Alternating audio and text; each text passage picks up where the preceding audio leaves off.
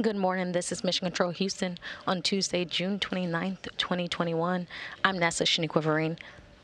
We are live here in the International Space Station Flight Control Room with a live view of Northrop Grumman's Cygnus cargo vehicle in the grasp of the Canada 2 robotic arm. This morning, we're bringing you live coverage of the release and departure of Cygnus from the International Space Station.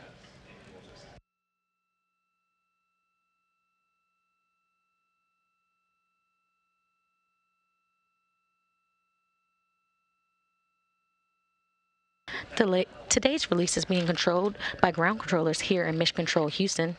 Teams here are being led today by Flight Director Adi Boulos, who is currently taking a go-no-go poll for flight controllers around the room for release. He's joined on console to his right by Capcom or Capsule Communicator Scott Sigati. You hear calls from Capcom to the station crew from time to time today as teams go through the procedures for Cygnus's release.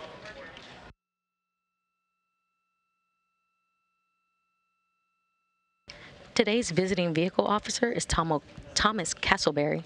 He'll be communicating directly with Northrop Grumman's flight controllers in Dulles, Virginia, relaying vehicle status and updates back to teams here in Mission Control Houston. And leading the team in Dulles, Virginia, is Northrop Grumman's mission director, Paul Brower. Teams in Dulles are keeping tabs on the Cygnus vehicle and will take full control of the spacecraft once it crosses over the approach ellipsoid today. The approach ellipsoid serves as an imaginary boundary around the station that is referred to as the neighborhood of the International Space Station. Four kilometers long, two kilometers wide, and two kilometers deep, the approach ellipsoid governs all vehicles coming or going from the orbiting laboratory. So again, once Cygnus departs the neighborhood this morning, joint operations will end and Northrop Grumman's team will take full control over the spacecraft. The release window today is set to open up around 11:23 a.m. Central Time today, putting Cygnus on track for an on-time release around 11:30 a.m. Central Time.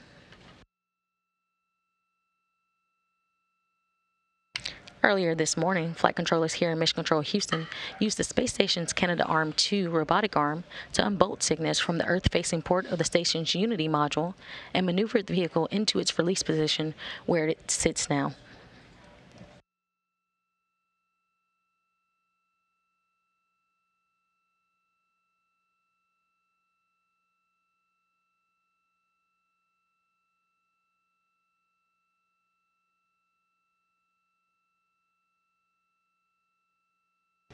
Cygnus's journey to the International Space Station began on February 20th when the spacecraft launched from the Wallops Flight Facility in Virginia. The Antares rocket lifted off the International Space lifted off to the International Space Station carrying about 8,000 pounds of science, research, crew supplies, and vehicle hardware. Cygnus arrived to its capture point two days later on February 22nd, with NASA astronaut Mike Hopkins at the controls of the Canada-2 robotic arm for capture as Soichi Noguchi of the Japan Aerospace Exploration Agency backed him up and monitored systems. A few hours after capture, Cygnus was installed to the Earth-facing port, fa- Earth-facing side of the station's Unity module, where it stayed for 127 days.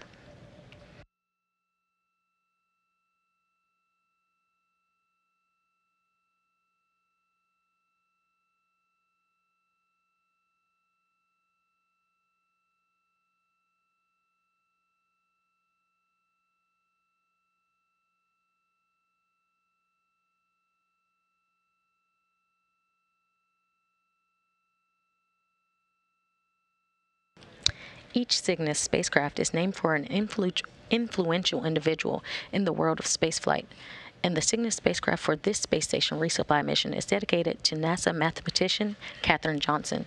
Johnson, a black woman, broke through barriers of gender and race, calculating orbital mechanics for some of the first U.S. human spaceflights. During her 35 year career at NASA, she calculated the orbital mechanics and trajectories of various U.S. missions to space, such as Alan Shepard's first mission to space and John Glenn's first flight to orbit. Katherine Johnson died on February 24, 2020, at the age of 101.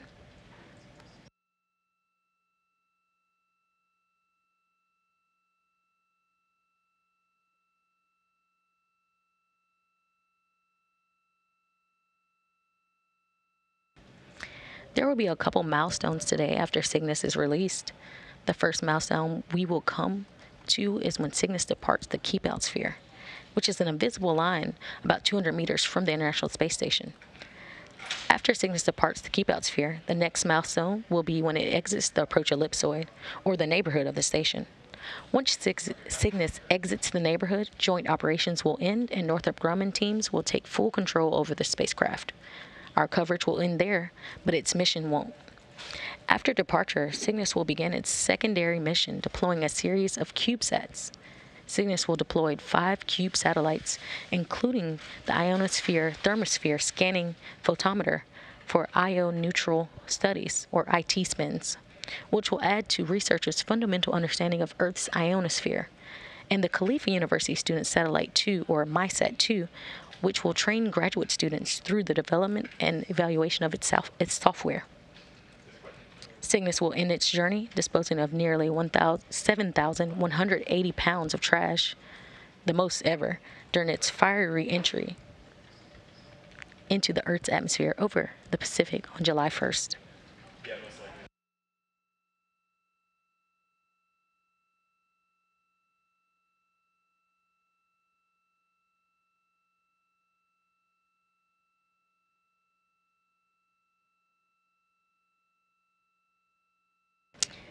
The view we're getting now is a view of what's called the RPOP, or Rendezvous Proximity Operations Program, on a laptop in a workstation inside the cupola on board the International Space Station. This is the same view the Expedition 65 NASA flight engineer Megan McArthur is seeing now as she monitors systems and backs up ground controllers here in Mission Control Houston. McArthur launched alongside NASA astronaut Shane Kimbrough, ESA, or European Space Agency astronaut Thomas Thomas Pesquet and Japan Aerospace Exploration Agency astronaut Aki Hoshide on April 23rd from the Kennedy Space Flight Center in Cape Canaveral, Florida. The mission known as NASA NASA's SpaceX Crew 2 docked to the International Space Station on April 24th and is set for a six, six month science mission. The Crew 2 mission is the second of six crewed missions NASA and SpaceX will fly as a part of the agency's commercial crew program.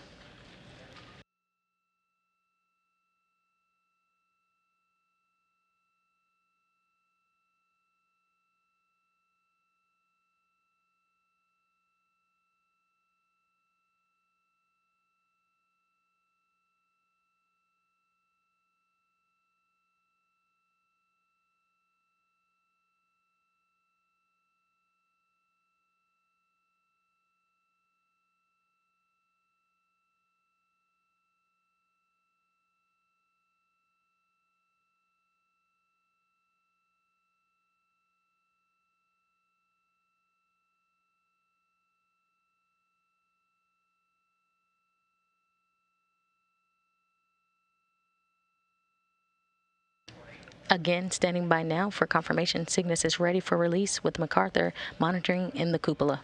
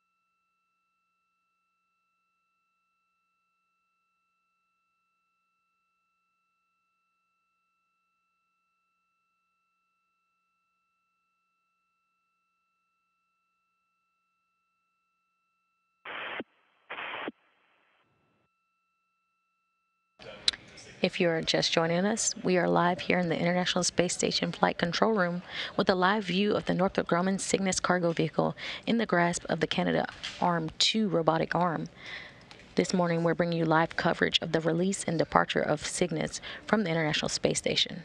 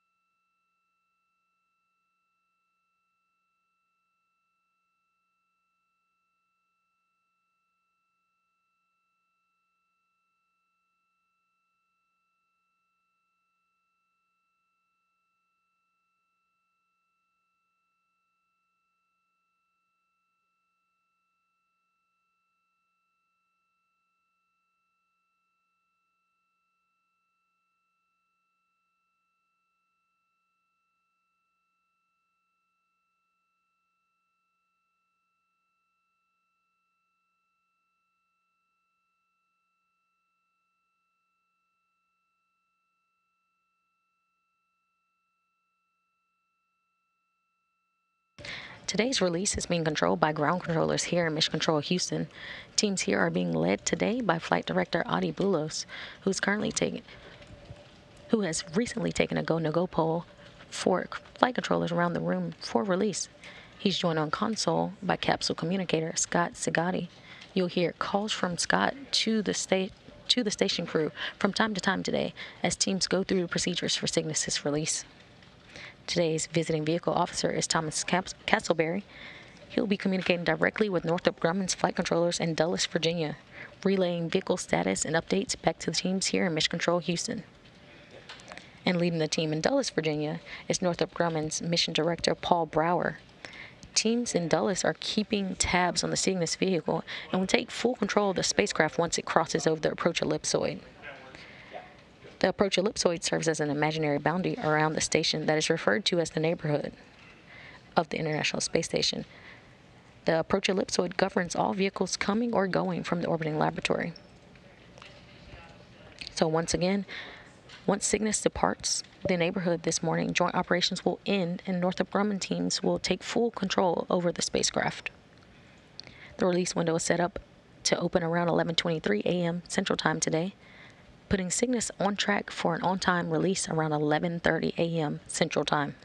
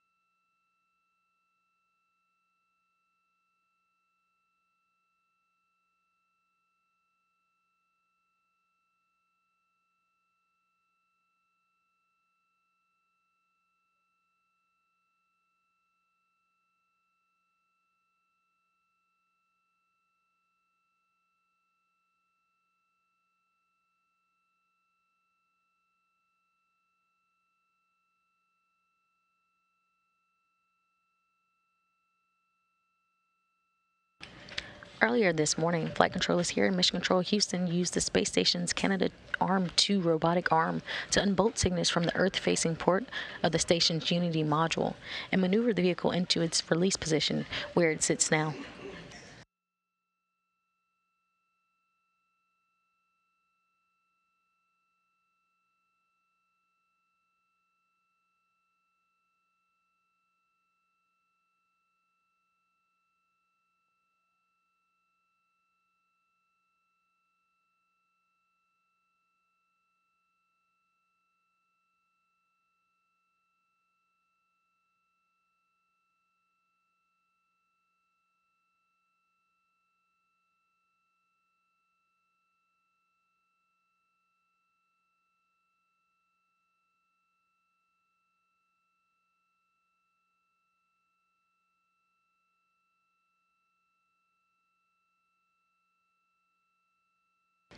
Cygnus' journey to the International Space Station began on February 20th when the spacecraft launched from the Wallops Flight Facility in Virginia.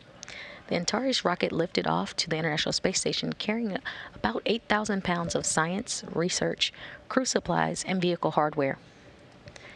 Cygnus arrived to its capture point two days later on February 22nd with NASA astronaut Mike Hopkins at the controls of the Canadarm2 robotic arm for capture. A few hours after capture, Cygnus was installed to the Earth facing side of the station's Unity module, where it had stayed for 127 days.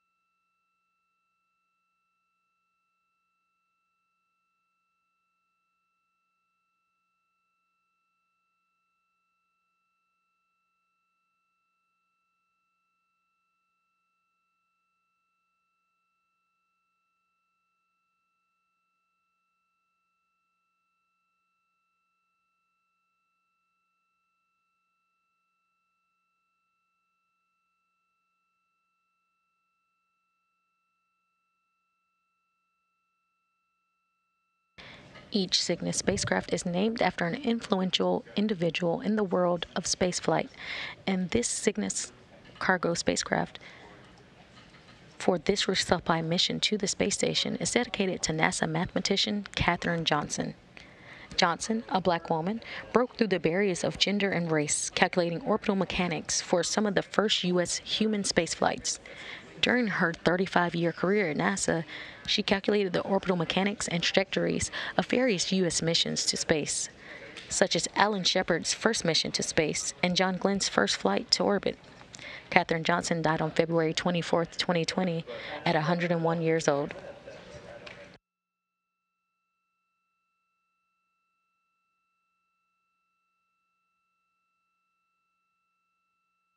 There will be a couple milestones today after Cygnus's release. The first milestone will come when Cygnus departs the Keep Out Sphere, which is an invisible line about 200 meters from the International Space Station. After Cygnus departs the Keep Out Sphere, the next milestone will be when it exits the approach ellipsoid, or the neighborhood of the station. Once Cygnus exits the neighborhood, joint operations will end and Northrop Grumman teams will take full control of the spacecraft. Our coverage will end there, but its mission won't. After departure, Cygnus will begin its tr- secondary mission, deploying a series of CubeSats. Cygnus will deploy five cube satellites, including the Ionosphere Thermosphere Scanning Photometer for iononeutral studies, or IT-SPINS, which will add to researchers' fundamental understanding of Earth's ionosphere. And the Khalifa University Students Satellite 2, or MySat 2, which will train graduate students through the development and the evaluation of its software. Cygnus will end its journey disposing of nearly 7,180 pounds of trash during its fiery re entry into the Earth's atmosphere over the Pacific Ocean on July 1st.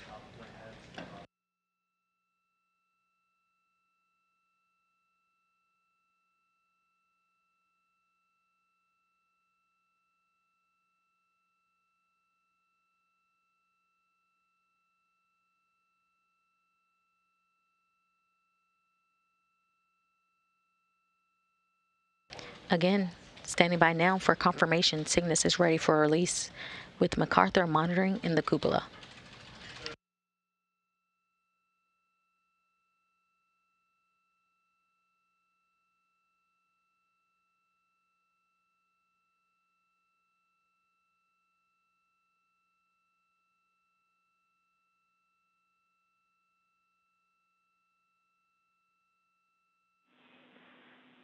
Station Houston on 2, back with you, Megan. You are go for Cygnus configuration checks in step 2 of 1.602. Copy step 2 and work.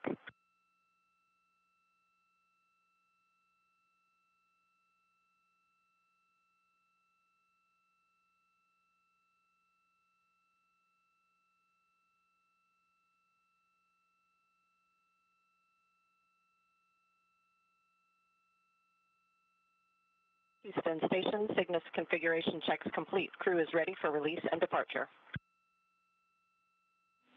Copy that. Thanks, Megan.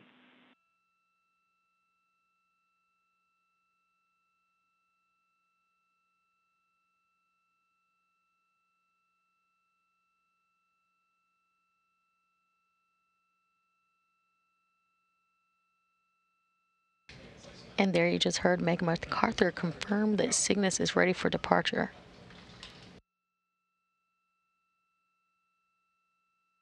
We are looking for an on-time departure today at 11:30 a.m. Central Time.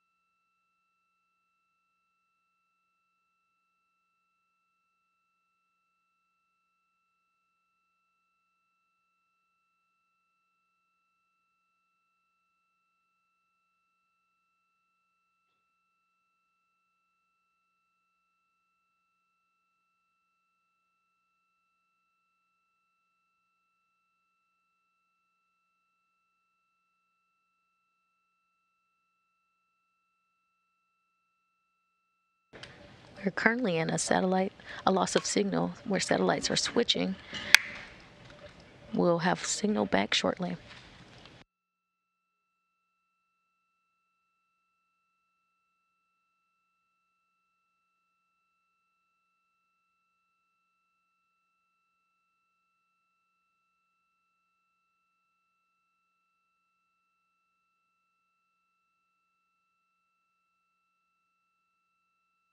You're currently seeing a live view of the control room in Dulles, Virginia, where Northrop Grumman, Paul's Brower, is directing this mission.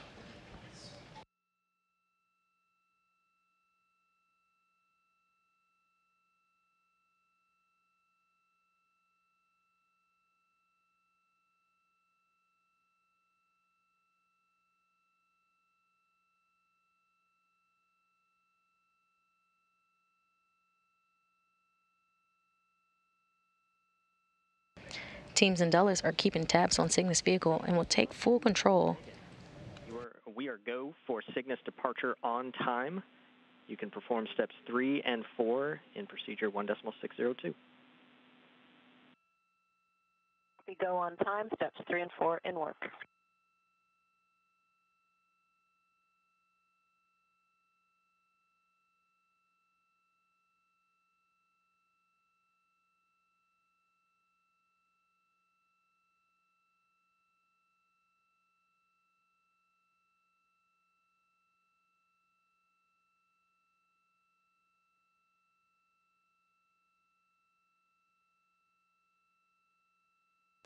The release window opened up at 11:23 a.m. Central Time today, putting Cygnus on track for an on-time release around 11:30 a.m. Central Time.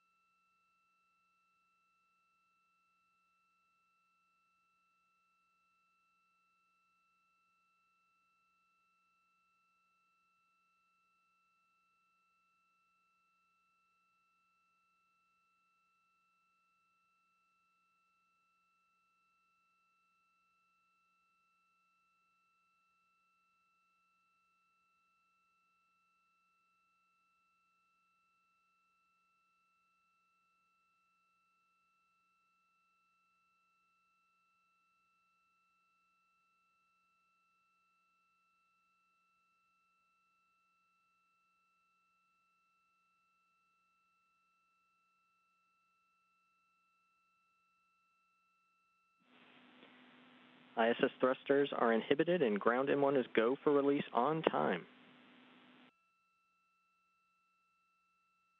Copy.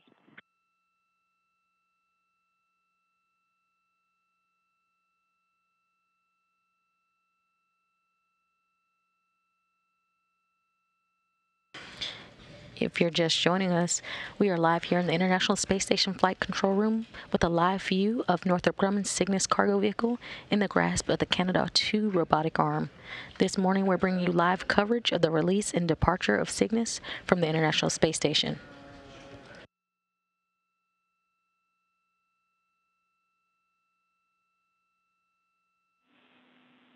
Proceeding with release, Megan. Copy.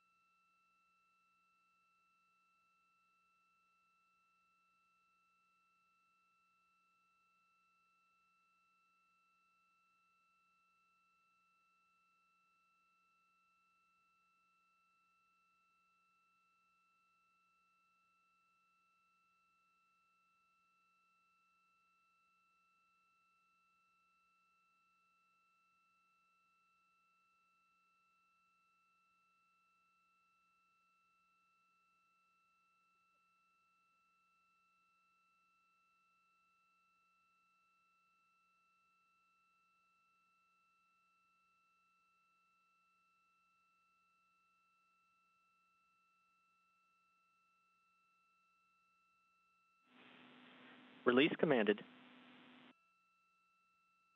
Copy, I see it.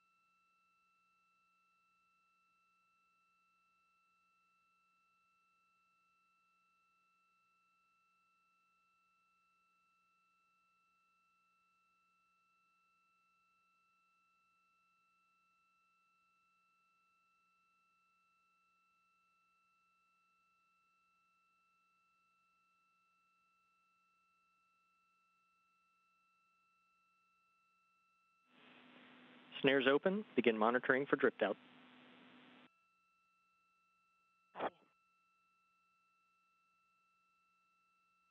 The snares are now open.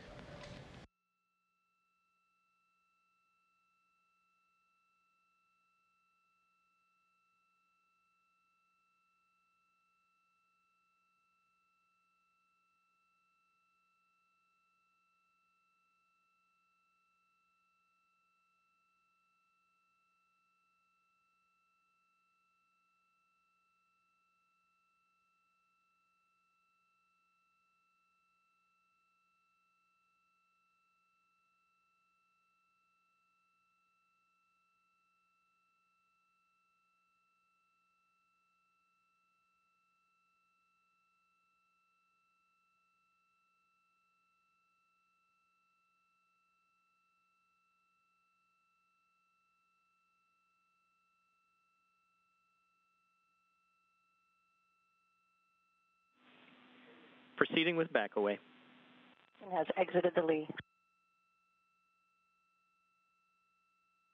And release has been confirmed at 11:32 a.m. Central Time as Cygnus and the International Space Station were flying 270 statute miles over southern Wyoming.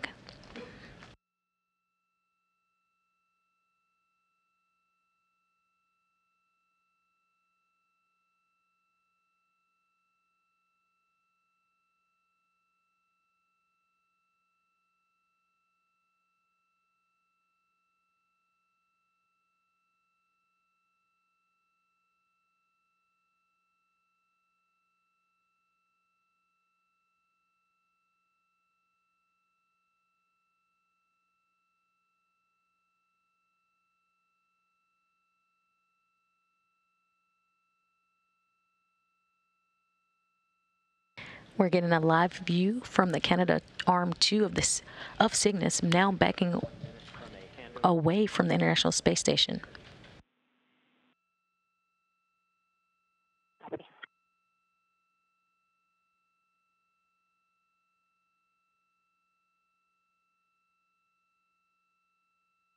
We are now standing by for confirmation that Cygnus has started its three minute departure burn, which will move the spacecraft a safe distance away from the station outside the approach ellipsoid, where joint operations will end and Northrop Grumman teams will take full control over the spacecraft.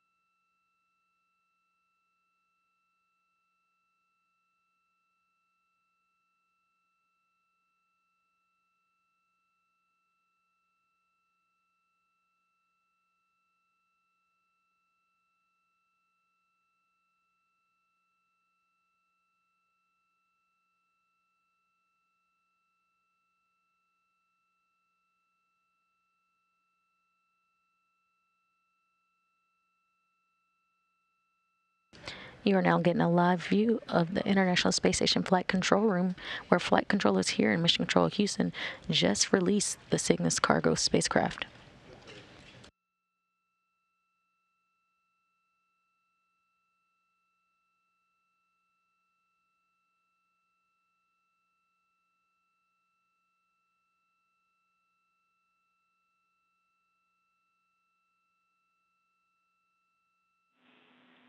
Back away in progress.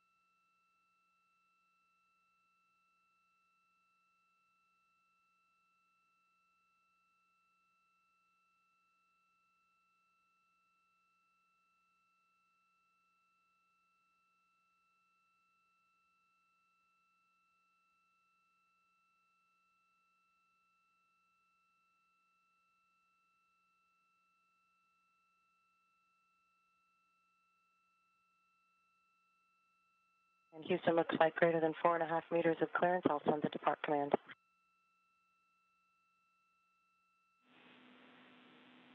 Copy, Megan.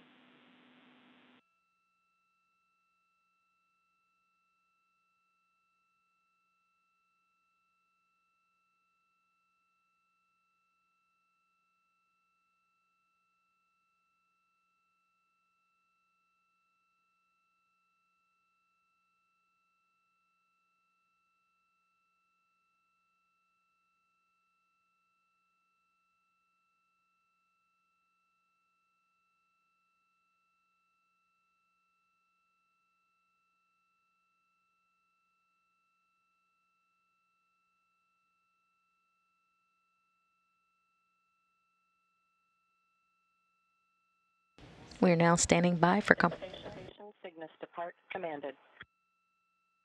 Farewell to the SS Katherine Johnson.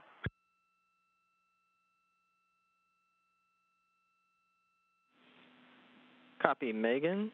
Depart commanded.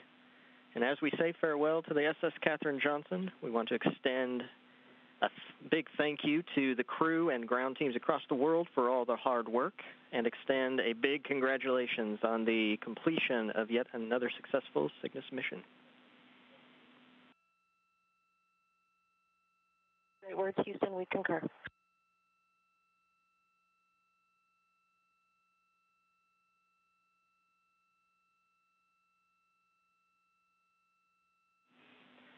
Cygnus departure burn is in progress. Monitor departure burn in step 5 of 1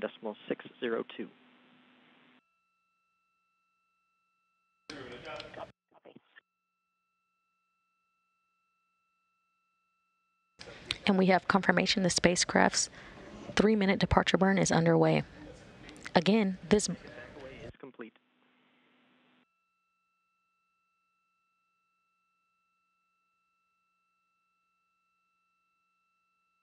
Houston, I did not copy your last. Just letting you know, back away is complete, Megan. Copy.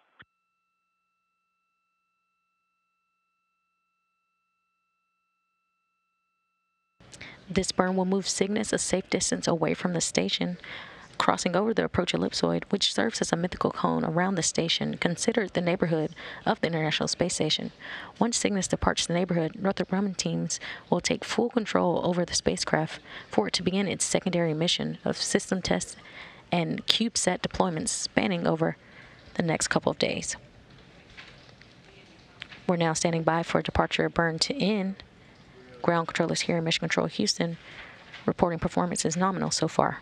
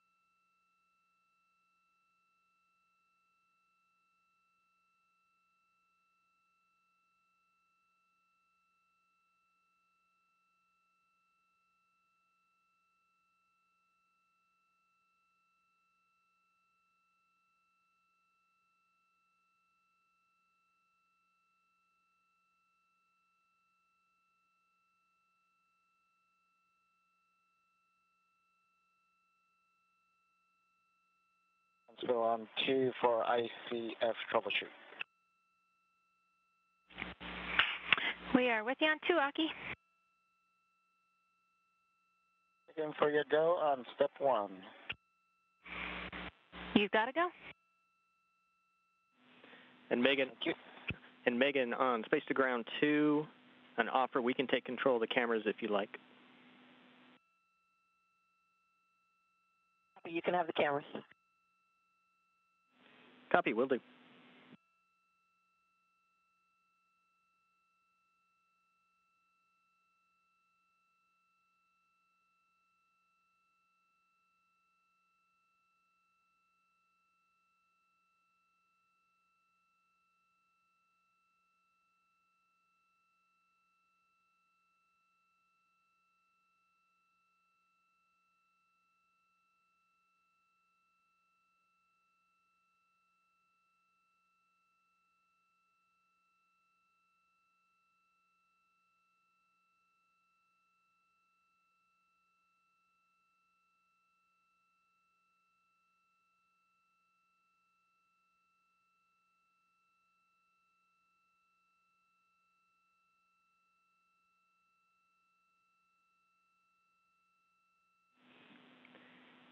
Megan on two, Cygnus departure burn is complete.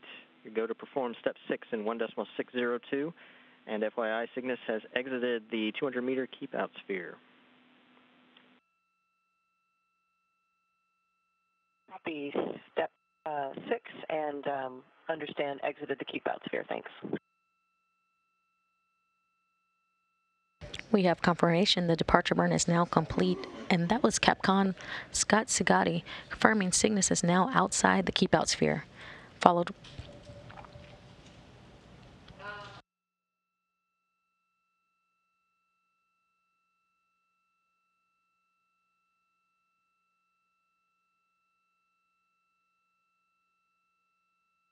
Again, the Keep Out Sphere exit is one of the milestones built into Cygnus's departure today.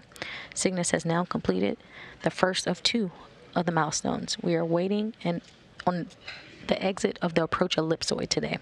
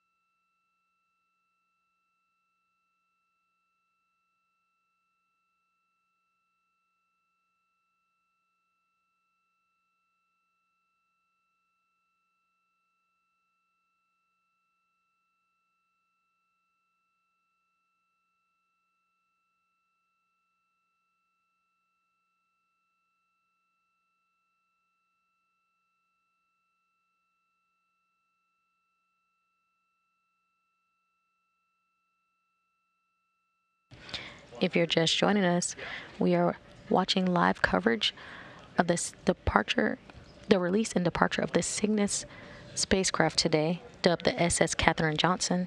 So far, Cygnus was released from the Canadarm2 robotic arm at 11:32 a.m. Central Time as the International Space Station and Cygnus were flying 270 statute miles above southern Wyoming.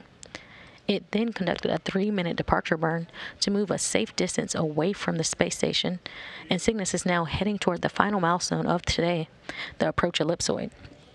Once Cygnus crosses over the approach ellipsoid out of the vicinity of the International Space Station, joint operations will end and Northrop Grumman teams will take full control over the spacecraft. Until then, NASA astronaut Megan McArthur will continue to monitor systems from the cupola on board the International Space Station.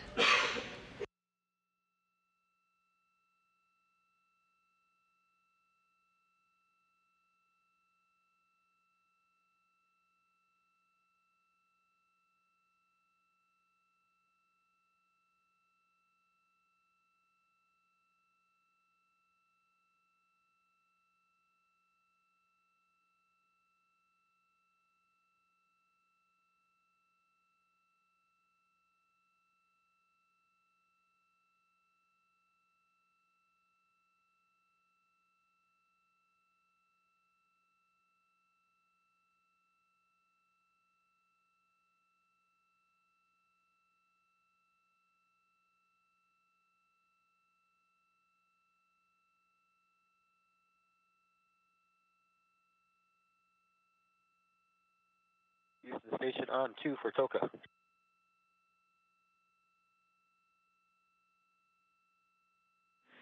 With you on two, Mark. Go ahead. The, uh, for the d- TOCA closeout, the TOC is 446, the tick is 1003, and the TOC RSD is 3%.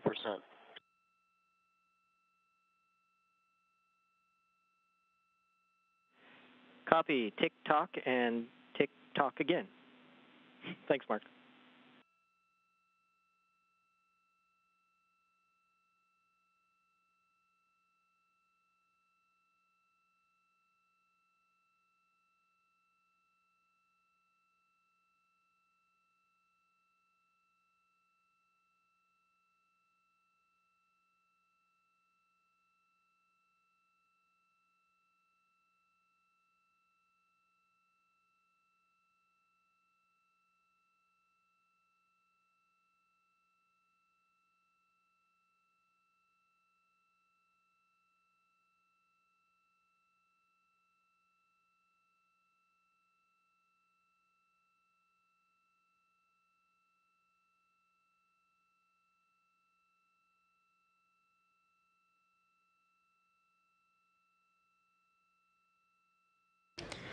After Cygnus departs the approach ellipsoid or exits the approach ellipsoid, it will be begin a secondary mission where Once it's a safe distance away from the station, Cygnus will deploy five cube satellites, including the ionosphere thermosphere scanning photometer for ion neutral studies or IT spins, which will add the researchers add to researchers fundamental understanding of Earth's ionosphere, and the Khalifa University Satellite 2 or MySat 2, which will train graduate students through the development and evaluation of its software. Cygnus delivered about 8,000 pounds of science, research, crew supplies, and vehicle hardware to the International Space Station on February 22nd. Of that 8,000 pounds was about 2,500 pounds of science investigations. One notable investigation sent up on this mission was a device to measure muscle strength in worms to test whether decreased expression of muscle proteins is associated with decreased strength, which could support development of countermeasures to help maintain crew member health. A good portion of research aboard the station is dedicated to understanding how the human body adapts and thrives in microgravity. There's also a great deal of parallels between health challenges in space and different ailments back here on Earth, with some space based treatments translating directly to help people on Earth.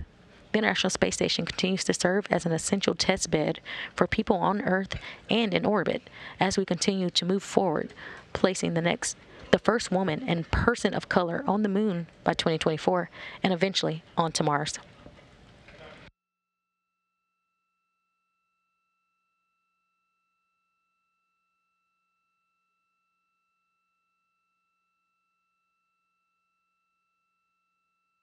Again, we're standing by for confirmation that Cygnus has crossed the approach ellipsoid.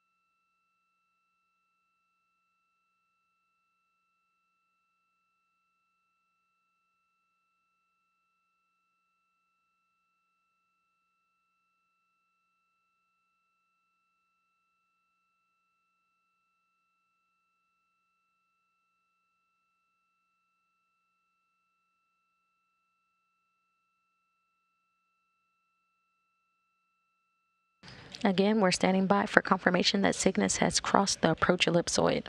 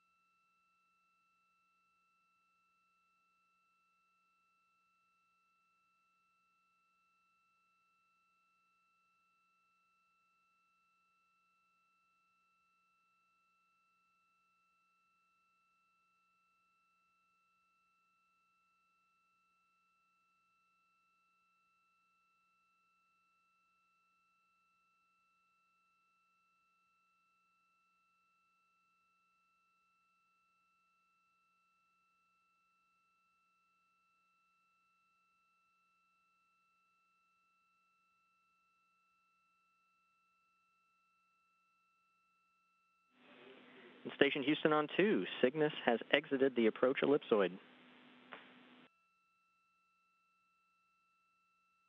Station copies.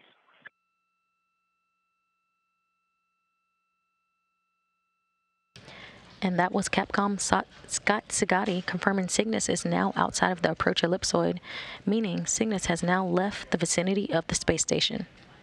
This is the point where joint operations end, and Northrop Grumman teams will take full control over the spacecraft.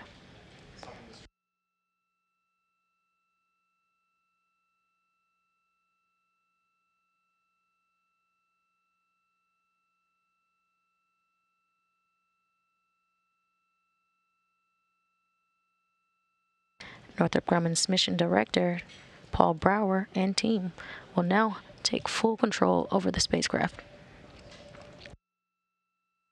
Recapping the events from today, earlier this morning, flight controllers here in Mission Control Houston used the space station's Canada 2 robotic arm to unbolt Cygnus from the Earth facing port of the station's Unity module and maneuvered the vehicle into its release position. With Megan McArthur monitoring in the cupola, Cygnus was set free at 11:32 a.m. Central Time as the International Space Station and Cygnus were flying 270 statute miles over southern Wyoming.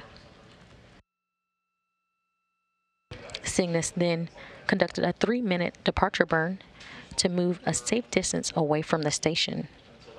Seconds after the departure burn ended, Cygnus exited the keep out sphere about 200 meters away from the International Space Station. The final milestone came just a minute ago when Cygnus crossed the, over the approach ellipsoid, leaving the neighborhood of the station, where joint operations ended and Northrop Grumman teams took full control over the spacecraft. Once far enough away, Cygnus will begin a secondary mission deploying five Cube satellites. After orbiting Earth for a few extra days, conducting system tests and CubeSat deployments, Cygnus will end its journey disposing of nearly 7,180 pounds of trash during its fiery entry into the Earth's atmosphere above the Pacific Ocean on Thursday, July 1st. With Cygnus now safely departed from the vicinity of the International Space Station after its 100, 127 day stay, that'll wrap up our release coverage for today. Be sure to tune in to the Progress 78 launch coverage today. Our coverage will begin around 6 p.m. Central Time, 7 p.m. Eastern Time. We're looking for a launch around 6:27 p.m. Central Time, and docking coverage will begin on July 1st, beginning around 7:15 p.m. Central Time, for a docking at 8:02 p.m. Central Time. Thank you for watching. This is Mission Control Houston.